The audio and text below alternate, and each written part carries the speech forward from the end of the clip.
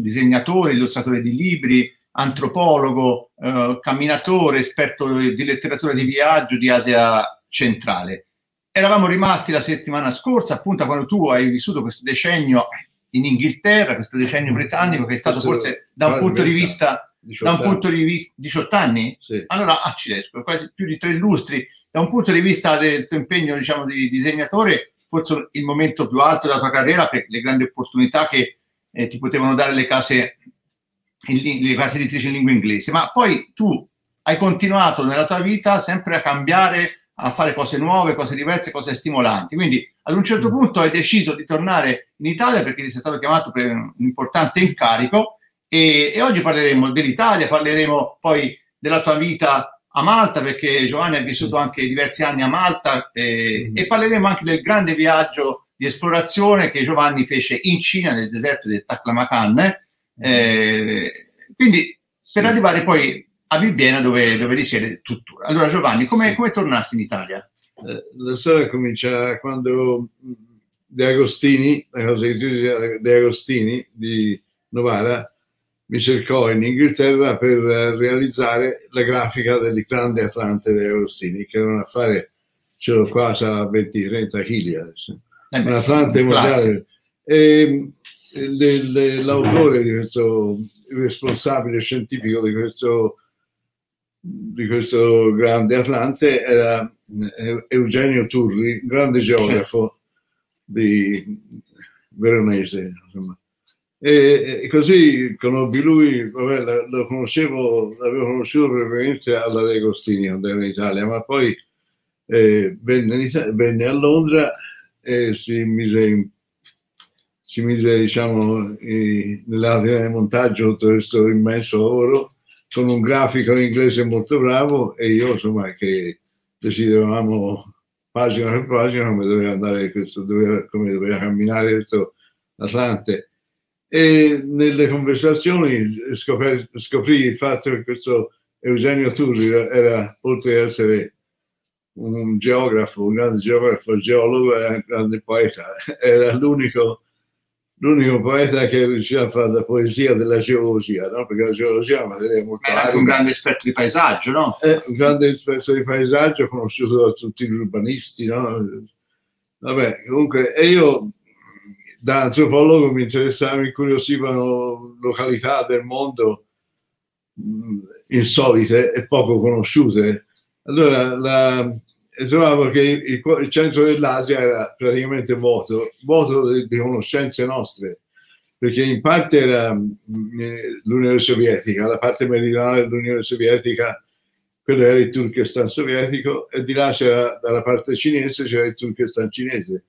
Queste zone sono ancora oggi poco note, l'Uzbekistan, il, il Turkmenistan, il, il Kazakistan, il Kirghizistan, tutti questi stan qui, che sono, chi è, chi è questa gente? E questa gente sono quelli meglio conosciuti da noi come tartari, eh, come nome, non è che siamo, si conoscono i tartari, come nome. E i tartari erano anche, diciamo, hanno un'affiliazione con noi perché i tartari della Crimea erano stati rimandati via dalla Crimea perché durante le, le conquiste di, di Gengis Khan questi, questi uzbeki erano, si erano insediati in Crimea e, e siccome erano, erano eh, musulmani potevano essere presi come schiavi allora Firenze, eh, Genova e Venezia prendevano queste persone in più che nella criminalità crescevano no? E li schiavizzavano, li, li vendevano come schiavi nelle, nei mercati tra il 300 e il 400 questi, questi disgraziati venivano venduti come schiavi in Italia e molti fiorentini sono di origine di quell'origine lì perché sono figli di questi schiavi, dei tartari, no? e si riconoscano questi quando il bambino nasce ha una macchia bluastra al fondo, al fondo della schiena che poi sparisce nel crescere ma è, è il marchio mongolo proprio no? che c'ha anche il mio nipote americano eh, inglese il mio nipote inglese è nato con questo marchio perché la, la madre di, della mia prima moglie era, era d'origine, era una lavandaia di Grassina che, che erano tipici schiavi che, che, venivano venduti sui mercati fiorentini per fare qualsiasi cosa, no? per fare anche contadini. Cioè. Comunque mi interessava conoscere questa zona vuota dell'Asia centrale. E, e così realizzammo questo Atlante e poi dopo ci tenemmo in contatto con, con con Turri, eh, a un certo punto nel, nel 90 quando ero alla io avevo diciamo, iniziato una serie di libri di viaggio e, e lui mi disse io, l'università di Padova è stata invitata dalla, dall'università cinese della, del Turkestan cinese della, di Urumqi sarebbe nel, nel centro della, della Cina occidentale per, per, fare un'esplorazione di questo deserto che sta fra il Tibet e la Siberia. A nord del Tibet c'è questa padella di deserto che ha una forma ovale lungo 900 km per 400 km di larghezza e circondato da, dalle vie della seta e là si divide in due e poi si ricombina alla fine del deserto. È come un, un grande occhio l'ambito sì. della via della seta nord e della sì, via della seta sud. È no? lungo questa via della seta, ci sono città-stato, tante città-stato. Quindi città che hanno una lingua diversa ognuna dall'altra. Che avevano, insomma. Che avevano. Ancora, Adesso ora sono parlano, sotto la Cina. Sono turcofoni.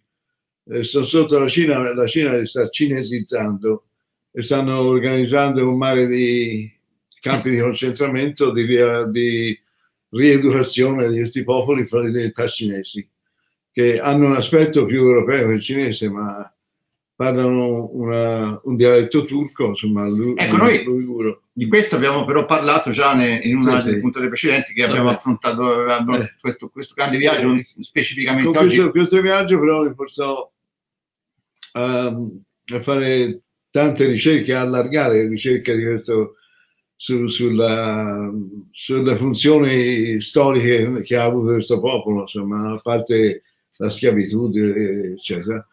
Ma e andai eh, nel 91, sì, dopo, dopo, essere stato a questo giro, andai nel 91 andai in Grecia, nelle montagne della Grecia, nel nord, a cercare i valacchi, i pastori valacchi, con la, con la diciamo, con l'idea di trovare se ci fossero state delle affinità fra i Valacchi e questi popoli dell'Asia centrale, che era una cosa molto, nessuno se ne immaginava che ci fossero.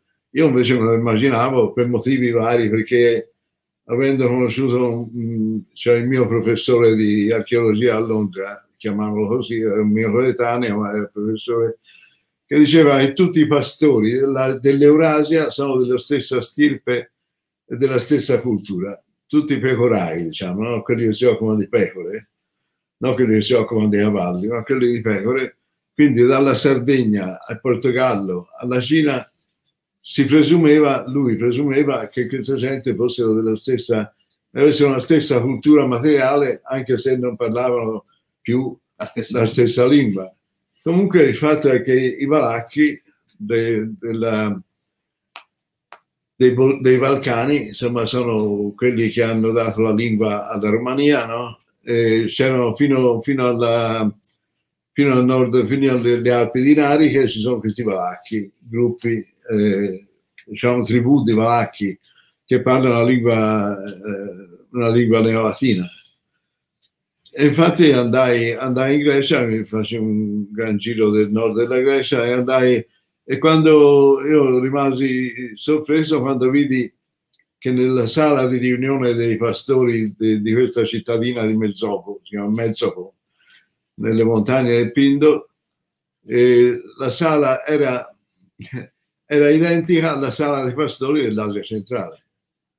C'era proprio un'affinità, anche loro facevano tappeti come, come i pastori dell'Asia centrale, e avevano lo stesso tipo di bastoni, eccetera, molte cose erano simili, ma soprattutto era la sala di riunione era proprio fatta come con dei sedili attorno e un, un focolare alla fine di questa sala che aveva una forma proprio persiana, no?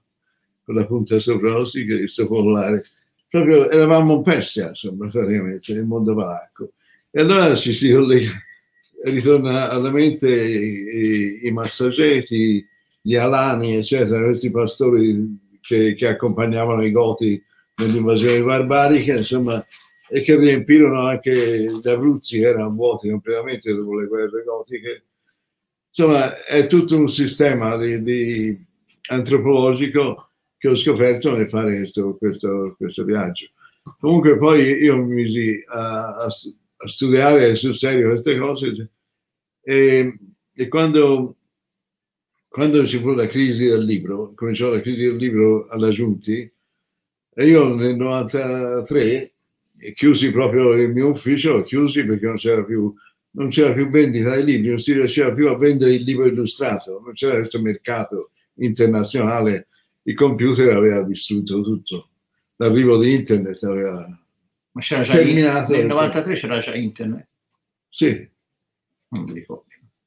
Sì, sì, c'era internet. Comunque finì il libro illustrato e io continuavo a farne qualcuno e andai, cioè finì il mio contratto con la Giunta e andai su in una, in una villa una villa rurale, una villa di che una volta c'erano i possidenti terrieri no? che avevano questi poteri, uh, su, dietro Fiesole, dietro in alto sul del piano.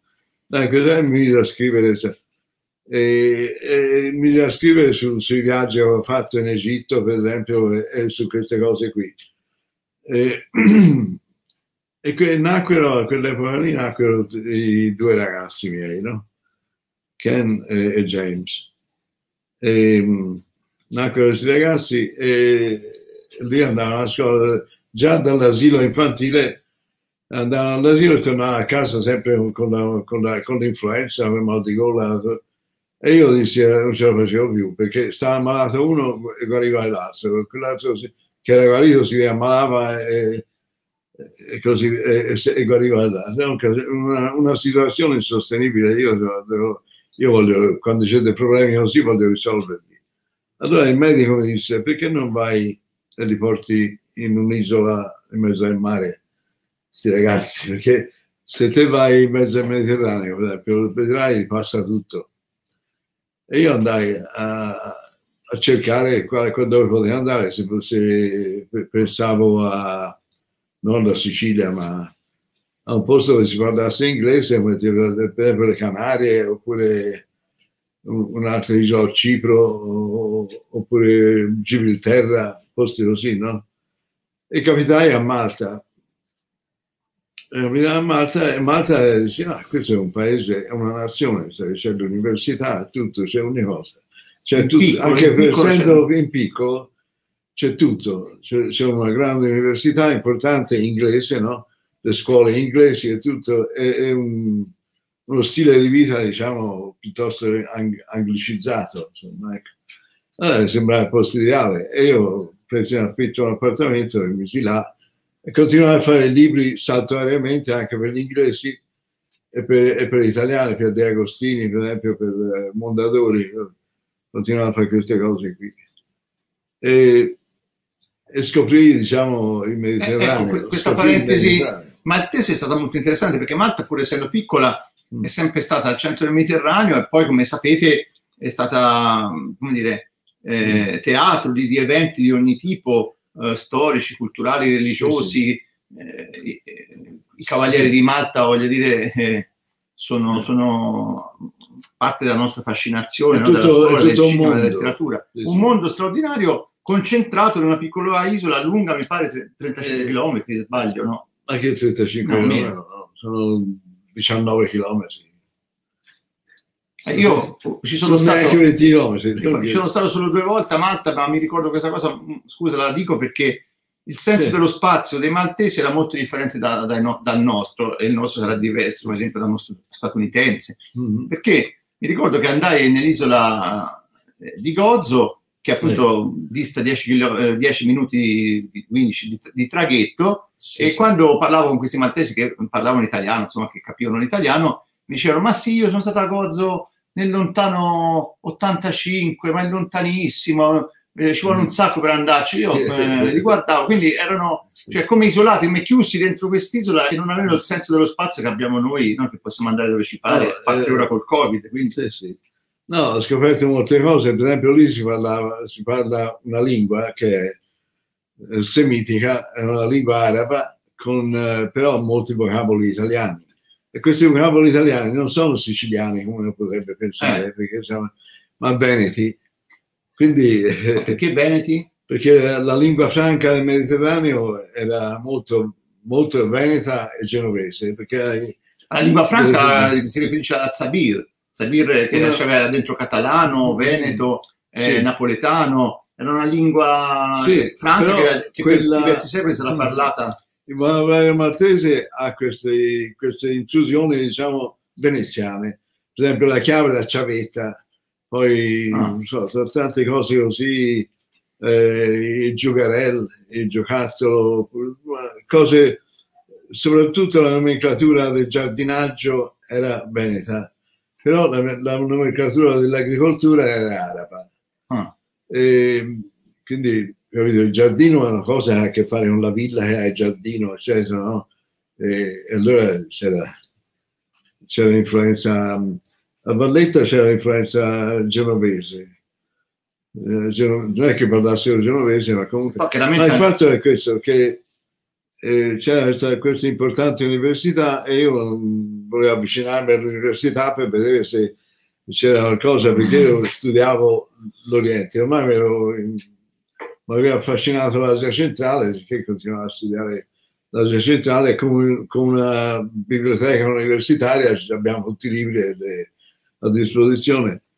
Allora incontrai nel pub del, del villaggio dove abitavo, St. Paul Bay, eh, un americano, un antropologo americano nel pub, così. Lui mi disse, perché non vieni, a, ti faccio conoscere il rettore dell'università e vediamo se, se, se, c'è una posizione che tu puoi avere questo, nell'università.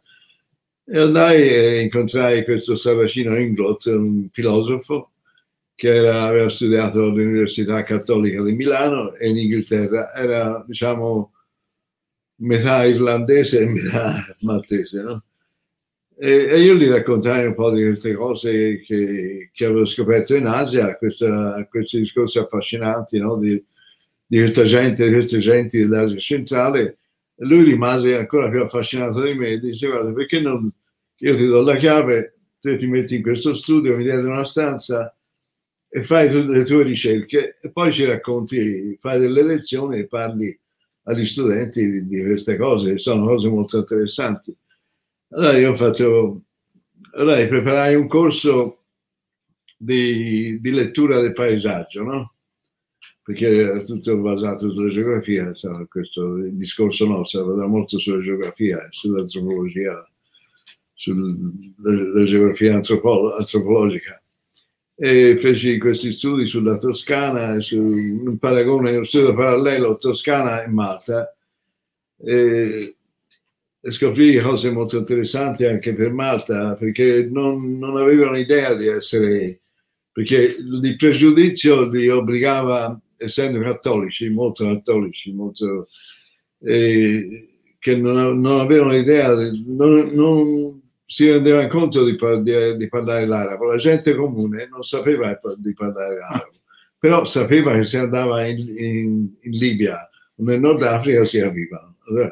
Poi hanno sempre avuto rapporti piuttosto stretti con la Libia, se non per sì, sì, commerciali. Certo, certo. E, insomma, quindi questo, questo posto, questo luogo così centrale del Mediterraneo ti fa capire un po' eh, il Mediterraneo stesso, che è, una, che è una terra, che è un mare che divide, non è un mare che unisce, perché fra il nord del Mediterraneo e, e, e l'Africa c'è una barriera insormontabile e non è solo l'Islam che, che, che divide eh, diciamo, il cattolicesimo. Capito? Al nord c'è il cristianesimo al sud c'è, al sud c'è l'Islam, eh, ma non è quello lì. La divisione la divisione del Mediterraneo eh, parte dalla, dall'antichità più remota, perché i, i persiani, eh, i mercanti persiani, avevano tutti i fondaci su, tutto lungo la costa dell'Africa e, e, e nel nord del Mediterraneo invece c'era, c'era, quelli che conosciamo, i greci, gli italiani, francesi e spagnoli. Insomma, ecco. Quindi è, è una divisione insormontabile e, e non è possibile unire il Mediterraneo. Infatti gli scontri che ci sono oggi sul, nel, nel Medio Oriente sono dovuti proprio a questo punto cruciale di, di questa, questa, divisione che, che causa la, il, mono, il, monoteismo. Il monoteismo è, è, una calamità per, per la cultura. Per, per, se, mm. fossimo, se fossimo stati ancora pagani, non ci sarebbero state tutte queste guerre. Lo dice anche Insomma, mi sembra abbastanza lo, chiaro. Lo storico Harari in questo mm. suo libro su, sull'origine sì, sì. del mondo, una cosa sì, che, che noi sì. non diciamo mai perché chiaramente l'Europa non, non, lo può dire, un mondo contemporaneo, ma in realtà il monoteismo è molto più intransigente ed esclu- escludente, no, diciamo, per usare un termine contemporaneo, del mm. politeismo e comunque no, di... è una, una, cosa molto difficile dire, ipotizzare cosa poteva succedere se, se fossero rimasti fossero rimasti politeisti invece monoteisti. Comunque, comunque... Malta, eh, Malta, era ed è adesso mm. un po' meno, ma insomma una, una isola profondamente religiosa, profondamente cattolica a livelli proprio di fanatismo. Diciamo profondamente superstiziosa. Su, un cattolicesimo Come, superstizioso. Sì, la versione superstiziosa del, del cattolicesimo. Però affascinante, scusa, io una volta sono capitato lì per Pasqua, processioni incredibili, eh, ah, certo, sì, sì, ma è tutto riti, riti eh, che da noi sì. sono scomparsi da un secolo. Ora io non voglio giudicare la gente ma comunque è molta ipocrisia. È lo stesso Saracino Ingot, il professore, il direttore dell'università, dice che qui vige, diciamo, la mentalità araba, no? domina. Perché questo, i, i maltesi sono una cozzaglia di gente da tutto il Mediterraneo che i cavalieri di Malta accettarono aff, affinché si convertissero al cattolicesimo quindi gli ebrei della Spagna, gli ebrei dell'Italia, eh, gli ebrei arabi, gli, ebrei arabi di, del Libano, eccetera, venivano tutti a Malta perché erano perseguitati nei loro paesi e qui convertendosi al cristianesimo diventavano maltesi. E, era una sorta di Portofranco come Livorno, come Salonicco, insomma, sì, di, di, area sì, dove queste persone svilupparono il loro che tra i cognomi Invece no, sui cognomi c'è anche delle comunità eh, col sud della Sicilia, Camilleri o Camilleri, sì, sì. No, ma sono... è un cognome anche maltese, no? No, perché la, la, Sicilia era maltese, parlava maltese prima che fosse italianizzata dai, da Federico II. Ah, tu dici nel sud. Eh, sì. certo, perché fu la, la Lentini, no? la, la scuola, Lentini. la scuola di Lentini e portarono l'italiano in Sicilia, se no la Sicilia parlava maltese, nel senso la, la lingua maltese è un, un risultato di, di, questo che faceva parte della Sicilia. Malta. Perché poi eh, se non vado errato i cavalieri di Malta mm. arrivarono a Malta scappando da Rodi, no? Quindi eh, sono sì, arrivati no. più tardi. Sì, di fondarono che... questa città vittoriosa, poi dopo la Valletta fu progettata da un, da un cortonese da un allievo di Michelangelo, eh, disegnò, eh, sì, la Parelli eh, disegnò la, la, città ideale. Quindi la Valletta ha una pianta che è una città ideale greca, proprio con gli spazi dell'agorà, spazi, tutte la, la, l'impostazione a scacchiera, no? E quindi no, dire, è, è, stato un arricchimento per molto te, importante, sette anni a Malta e i ragazzi sono cresciuti, i miei figli lì, che hanno fatto le elementari in inglese, hanno imparato anche in maltese naturalmente, e ora all'età di uno 32 anni, uno, uno, uno ha 30 anni, uno 32, 33, sono tutti e due a Malta. Sono tornati a Malta. Sono tornati a Malta perché si trovano bene evidentemente. Eh, si trovano bene economicamente. Anche economicamente, perché sapete, da quando Malta è entrata nell'Unione Europea, non mi ricordo quanti sì. anni sono, a parte si sono abbassati i prezzi dei prodotti che prima erano sì, molto sì. alti, ma soprattutto certo. Malta è diventata una, sorta di trampolino di lancio per quelli che vogliono entrare eh, in Europa, a volte anche in maniera un po' così approssimativa, però è piena di aziende, ha, ha molte, molti, molti brand hanno sede lì, arriva gente, sì, c'è, c'è molto, molto movimento. Poi soprattutto c'è, c'è un casino importante. Sì, c'è anche l'aspetto turistico, però sì. anche l'aspetto proprio di, di, aziende che pur di essere in Europa entrano da Malta, quindi, sì, quindi ci sono i soldi che girano a Malta. E ci sono anche tentativi di, della mafia di impossessarsi di Malta. Mafia, ma esiste la mafia maltese? Sì. C'è, c'è, sa, certamente c'è la mafia maltese che è raggiunta anche il governo quella giornalista eh, sapete uccisa. il caso della giornalista uccisa insomma. Eh sì sembra che sia stato di mezzo e a volte propongono cose veramente per noi paradossali tipo appunto per unire le due isole in mezzo al Mediterraneo che, che, per le quali basta come dire raggiungerle cioè si raggiungono una dall'altra con 10 minuti di traghetto volevano fare un tunnel che aveva un costo spropositato che sinceramente sì. non, non si capisce qua ancora servizi perché un discorso è un tunnel che collega sulla Gran Bretagna al continente, ma un tunnel che eh, collega due isolette, cioè forse conviene sì. fare un ponte a quel punto lì perché eh, così rovina. No, sono 90 km eh, fra da Pozzallo a Malta. No, ma mica lì il tunnel, eh, le due isole, sì. le due isole. Ah, fra le due isole, fra le due isole, sì, sì. Quanti chilometri saranno? Saranno 5 chilometri di, di mare, no, ma nemmeno. No, no, no saranno 3 chilometri. Saranno e comunque insomma, per dire che il, ehm, ecco quindi Malta è interessante perché appunto eh, per questa sua posizione anche l'università di Malta poi Malta voglio dire dopo la, la parentesi napoleonica è diventata inglese no? quindi certo, anche, sì, anche, sì. anche, parole inglesi sono nel maltese ci sono sì. termini inglesi come eh, ci sono tradizioni inglesi. Parlano tutti in inglese, la lingua ufficiale è quella lì. Fin, a, mi pare che hanno raggiunto l'indipendenza intorno al 1960 maltesi. Nel 63, sì. Nel 63. Quindi hanno anche eh, certe rigidità, ci sono ancora tutti, tutti a Valletta, c'era ancora questi negozi no, proprio inglesi per, per i marinai. No? C'era anche una mensa marin, marinara, diventata un ristorante, ma insomma è un'isola che è nel posto sbagliato perché con i gusti culinari per esempio hanno lo stesso gusto culinario che si può avere un casentino. nel, no, nel nord dell'Inghilterra. Ah. a Whitby eh. eh, sul mare. Cosa mangiano a Whitby? sì mangiano la, la pizza con i piselli congelati ecco io, io, ho scoperto che il piatto nazionale maltese non è il pesce ma pensate un po' è il coniglio alle erbe sì, sì, la, fencata, la fencata è pieno di, di conigli selvatici. Eh e il coniglio si chiama Fennec, che è il nome di una volpe arabo, la volpe del deserto. Sì. E questo, questo coniglio viene cucinato bene, insomma, viene arrostito, però ci mettono una salsa artificiale che lo rovinano veramente, ci schifo.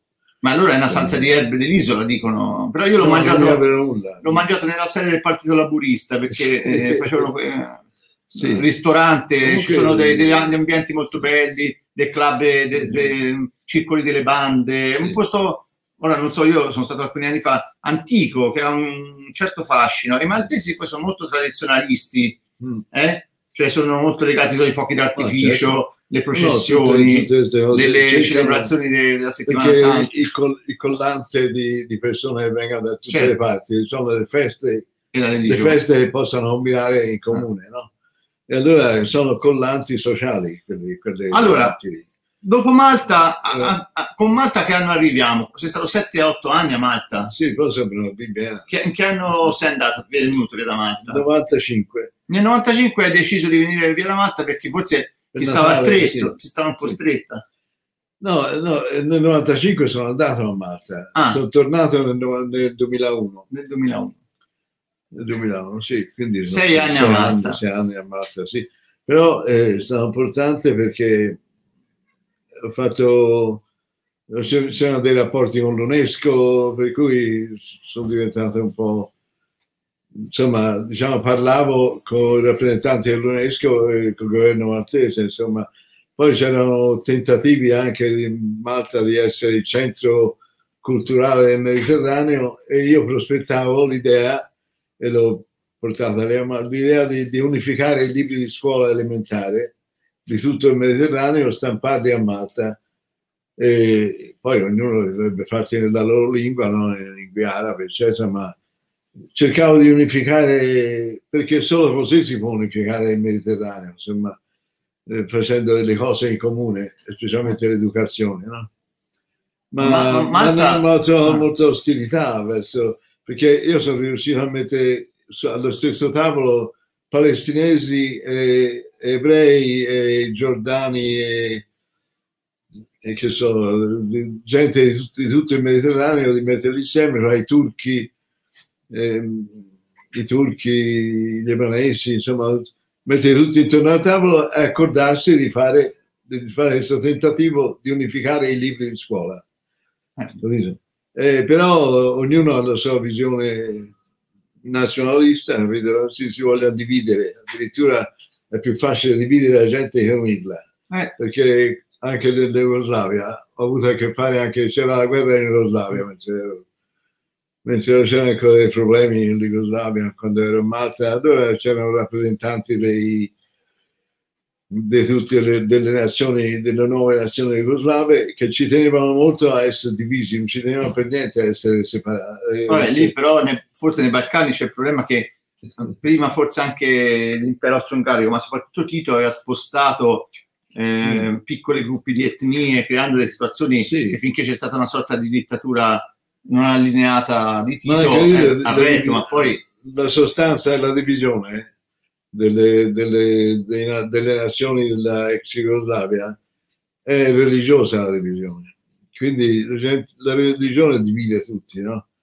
Perché ora la, la Macedonia è una Macedonia di popoli di tutti i tipi, però gli altri sono ortodossi o cattolici o se no, o se no musulmani come la Bosnia. Insomma. Ecco, allora, eh, nel, nel, 2001 sei tornato in Italia. Sì. E come hai deciso di venire qui a Bibbiena? Eh, eh, c'è un discorso che parte dal fatto delle strade, perché studiando la centrale ho studiato la via della seta e ho ricollegato alle mie prime idee inglesi di ricreare il, il sistema circolatorio della civiltà mediante le strade, le arterie, proprio, no? E allora sono venuto in Italia e mi ero occupato della via francigena no? quando ero ancora ero in Inghilterra, poi qui è venuta fuori l'idea che il, il passo di serra che porta la via Romea attraverso il Casentino per andare a Roma dalla Germania, eh, ho, mi sono messo a promuovere questa viabilità della via Romea che parte dal nord dell'Europa, quindi se, se, dalla Danimarca. Passando il tempo si è diventato sempre più storico, antropologo sì. e appassionato di paesaggio, di transumanza, di tutte queste cose certo, qua che hai eh, elaborato attraverso anche i disegni, gli studi sì, poi ho scoperto il Casentino, che il Casentino è terra non chiusa ma terra di passaggio, terra di transito. Ecco, scusa, eh, eh. per chi non lo sapesse, il Casentino è l'alta valle del fiume Anno, quindi eh, una delle quattro valli della provincia di Arezzo, confinante mm-hmm. con l'Emilia Romagna, confinante con la provincia di Cesena, e quindi l'Arno nasce nel Monte Falderona, poi curva, torce il muso, come dice Dante Alighieri, agli Aretini sì. e va verso Firenze. E il Casentino, se posso permettermi, vorrei fare un parallelo, in fondo è come Malta, perché è, è, ha la stessa dimensione di Malta, e apparentemente è un'area chiusa, ma in realtà non lo è, perché poi è sempre stato un punto di passaggio. Eh, eh, la, la, la, Romea tedesca, eh, teutonica, cioè quella che veniva da Stade, che si incontrava con l'altra che veniva eh, sì, dal sud dell'Inghilterra e si incontravano al lago di Bracciano, no? Mi pare. Certo, sì, e sì. poi andavano a Roma e altre strade, altri passaggi appenninici, perché appunto c'erano i passi appenninici. Ma il fatto delle cose, la, la transumanza, che le pecore, le, le, migliaia di pecore che erano a pascolare nell'estate nella, nel, sull'Adriatico, no? sulla parte adriatica dell'Appennino, eccetera, che erano molto pecore che producevano della buona lana, dell'ottima lana, dovevano spostarsi verso il Tirreno tutti gli altri gli inverni, no? E allora queste transumanze hanno creato delle viabilità attraverso proprio queste montagne dell'Appennino, attraverso, attraverso l'Appennino e attraverso il quindi, Prato quindi L'Appennino no, non divideva, anzi univa. Perché... No, univa, anche perché le, la percezione del territorio delle, delle civiltà antiche come qui per esempio qui c'era, l'Etruschi anticamente, ora non ci sono più, no? Ma c'era l'Etruschi in questa zona perché questa lingua c'era, eh, diciamo coagulata attorno al Monte Falterona. Era la montagna, era la, l'unità territoriale degli antichi, non era la valle. Allora il, Casentino è diviso etnicamente anche dalla parte dell'Appennino, la parte del Prato Magno e la parte della, del Falterona. No? Queste montagne, questi gruppi montuosi sono zone culturali anche. Ancora oggi, per esempio, le capanne, le capanne del Prato Magno sono come quelle delle Alpi Apuane, mentre le capanne del Casentino, del, dell'Appennino, sono come quelle dell'Umbria. No? Quindi cioè, c'è delle, quelli, delle influenze umbre. Su, su... Quelle, quelle, del Padovani sono rettangolari, sono come sì, quelle sì. maremmane. Sì, sono le stesse montagne che sono nelle Alpi Apuane. E quindi il Pratomani è una continuità delle Alpi Apuane da Pistoia in qua, no? E questo anche linguisticamente si trovano questi legami. Quindi si capisce proprio che la valle era divisa da, da questi gruppi, era divisa in gruppi molto... Gli spostamenti c'erano, ma poi erano anche complessi, quindi quando si... i contadini stanno fermi, si, i, pastori, i, pastori, si muovono, ma i contadini stanno fermi e stabiliscono tradizioni loro nella loro area. Le loro aree sono le parrocchie, le diocesi, insomma, no? Per cui le, Tra l'altro, una cosa che tu dici sempre, l'altro giorno è stata confermata, è stata anche puntualizzata mh, nella trasmissione di Alberto Angela, per sì. quello che possa servire, ma insomma voglio dire, è molto seguito. Mm-hmm. E lui diceva appunto che una delle aree dove c'è maggior numero ancora di, di suffissi etruschi nei nomi, eh. nelle località, è proprio il Casentino. Sì, uh, sì. So no, il fatto del, dei toponi, la toponomastica, come i toponimi liguri che arrivano fino, a, fino al Veneto, insomma, no? Dal Veneto a tutta la Lombardia ci sono toponimi liguri che, che tem, terminano... Anche se poi sotto l'impero romano il Casentino era nella regione Umbra, era considerato... No, era, era no quello, lì, quello, lì, è un errore di tutte le carte geografiche. Ah. Non era la parte Umbra, era la parte etrusca, dell'Etruria. Ma è, è un'interpretazione errata di un passo di Plinio. Ah. Un'interpretazione sbagliata medievale perché il nome Casentino era eh, i, i, toponimi, diciamo, la densità di toponimi di Casentino è tale che, che proprio questo è, è, il posto dove si parlava etrusco inizialmente, poi questo etrusco si è diffuso a tutta la Toscana in virtù di questo passaggio continuo fra, fra i villanoviani della, della Bassa Romagna i villanoviani della Romagna. Ah, tu dici, cioè io pensavo che gli etruschi si fossero, come dire, sviluppati in aree vicino al mare, nella Tuscia. Invece tu dici che il punto iniziale di sviluppo etruschi è no, no, sono venuti da, da, diciamo, da, dal nord. Quelli che poi parlavano di etruschi e poi dovevano diventare etruschi sono molto affini alle popolazioni dell'Austria, dell'età del bronzo e del, del primo ferro, no? della, della Salzach. E sono i villanoviani, si chiamano villanoviani da, da un sito vicino a Bologna, e questi parlavano già etrusco nella parte dell'Appennino, dalla parte di Bologna, dalla parte, dalla parte riminese. Dalla parte... infatti il re di Rimini, ehm, la tradizione greca, come Pausania, dice che il re di Rimini Ariminus, Ariminus questo re di Rimini etrusco fu uno dei primi donatori uh, di, a Zeus di, di, a Zeus di Olimpia. Mm. Uh, il santuario di Olimpia donò una grande, un, una grande sedia, diciamo un seggio.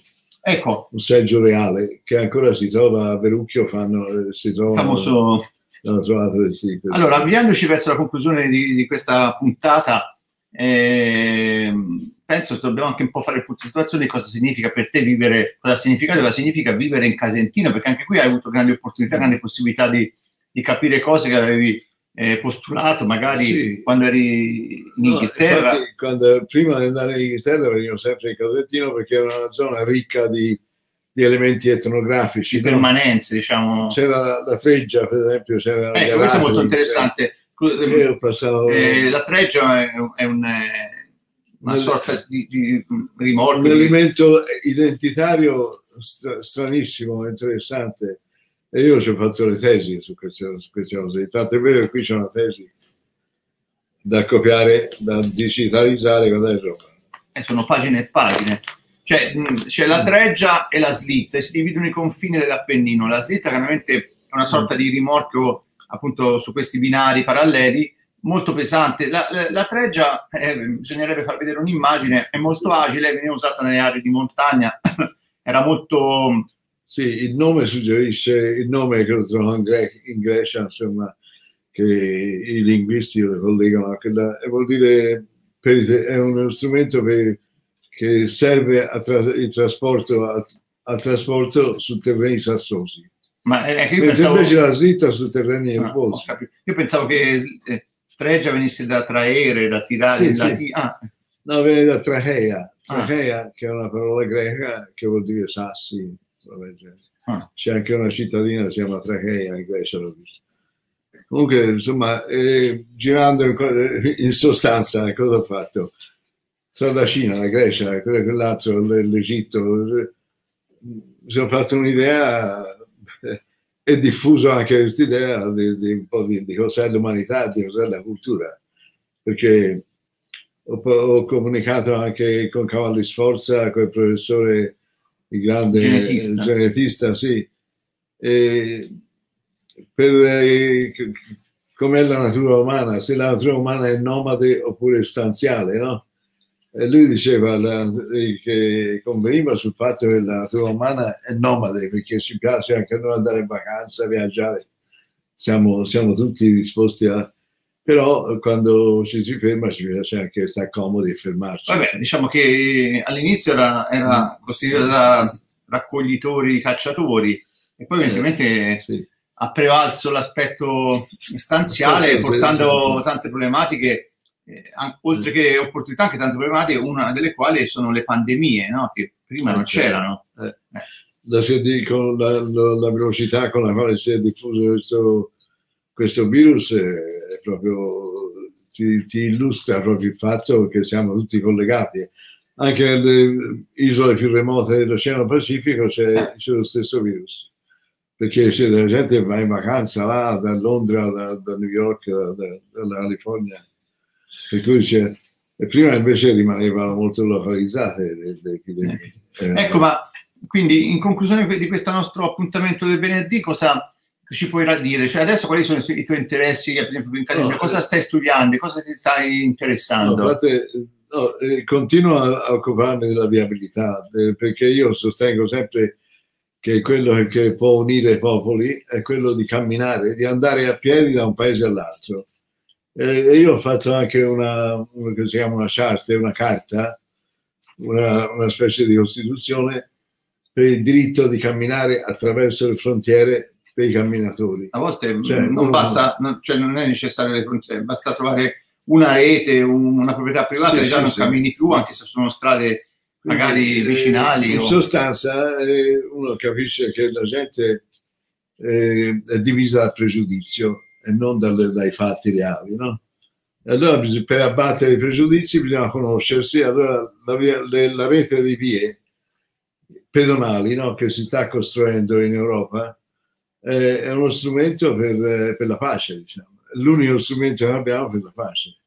Ecco, allora, finiamo, finiamo con un bel messaggio di speranza.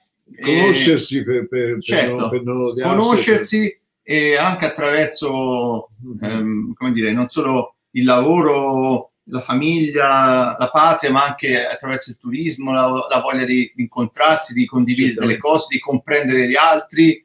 Eh. E speriamo anche ora, questo, questo fine, questa fine primavera, questo inizio d'estate, di poter riprendere a viaggiare, sì, sì, come, certo. come, ci racconta anche Bruce Chatwin, è l'uomo un nomade, quindi se si ferma certo. è perduto, no? Allora io sto cercando di di trovare un accordo con i cinesi, addirittura per ah, sei, cora- sei, cora- sei, coraggioso perché eh, i cinesi ormai impongono gli accordi loro a tutti gli altri, però sì, culturalmente sì. ancora... Eh, ma sono... se bisogna usare il metodo cinese, eh, fargli credere una cosa ah. e poi fregarli da quell'altra parte. Ah, cioè, grande stima dei cinesi. Bene. No, eh, sì, I cinesi sono quelli che costruiscono il numero più più intenso rete, la più intensa rete di, di campi di concentramento per tenere il paese insieme. Ho capito. Allora, eh, con questo mese speranza di poter andare a fare un'altra esplorazione in Cina, una terra meravigliosa. Sì. Io sono stato una volta, ma come turista, mm. e, e, sono arrivato fino a Xi'an e di lì partiva la via della seta, ma lì mi sono fermato perché eravamo col pullman. Vorrei con... continuare a fare queste, queste cose sul, sul fatto dell'unità sul fatto della viabilità, no? anche Arezzo come centro importante della viabilità medievale era un centro importante, poi è stata, è stata tarpata da Firenze. Vabbè, Firenze, Firenze ha preso il sopravvento. È diventata Arezzo, dominante Arezzo, tutta la Toscana. Arezzo era una città nel 1200, la più importante di Firenze. E, e c'era questo centro del Pionta. Poi, no? Allora, da, da, da veri campanilisti, sì. diciamo, cioè te sei, sei, più fiorentino, io sono casentinese, sì. non sono aretino, no, però in realtà le, eh, le sorti della battaglia di Campaldino, dove appunto... Eh i fiorentini vincono anche con Dante Alighieri. Feditore, eccetera, si è scoperto che, che, cioè, che, che non sono state così, così, certe, potevano benissimo vincere gli aretini. Gli aretini peccarono di presunzione, come eh, spesso eh, capita sì, sì, certo. a, a, loro, perché attaccarono così fortemente, sì. così in profondità che furono circondati, diciamo, sì, sì, i, ma... perché erano un popolo chiaramente di, di guerrieri, di, di, di, cavalieri, mentre i, i, fiorentini erano un popolo di bottegai, di, commercianti, avevano voglia di, vincere questa guerra e poi ritornare... Proprio fra, è un conflitto proprio di... epocale, insomma. Di eh, conflitto culturale, proprio della base che da una parte ci sono i, quelli che vogliono i pedaggi, no? che tu paghi i pedaggi, e da quell'altra sono i, i, mercanti che non vogliono certo. che tu riscota i pedaggi. È chiaro che doveva, eh, doveva, vincere per forza Firenze, perché Firenze era proiettata nel futuro, adesso eh, certo. era rimasta sì. ancorata al passato. Bene, con, con queste eh, belle parole di, di, Giovanni Caselli, noi vi ringraziamo, ringraziamo Stefano Pomma del caffè che ha, ha, reso, poss- ha reso, possibile questo, questo collegamento e ci vediamo magari prossimamente per, per, nuove riflessioni sulla contemporaneità in compagnia di Giovanni Caselli e Francesco Maria Rossi. Grazie e buonasera.